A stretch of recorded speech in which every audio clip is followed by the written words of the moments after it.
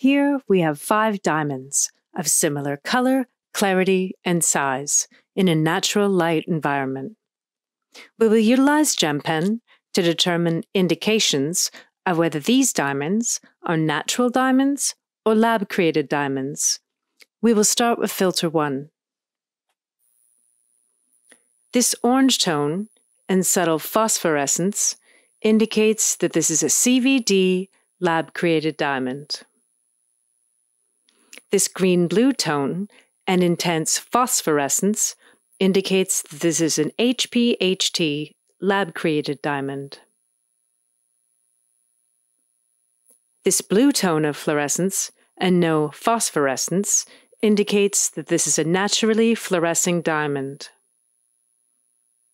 This stone has no fluorescence, which indicates that this is a natural, non fluorescing diamond. This yellow green tone and subtle phosphorescence indicates that this is a CVD lab created diamond.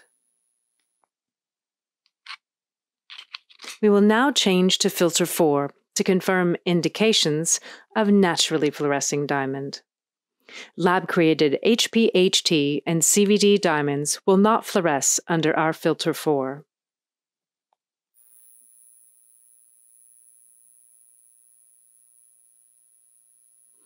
This confirms that this is a naturally fluorescing diamond.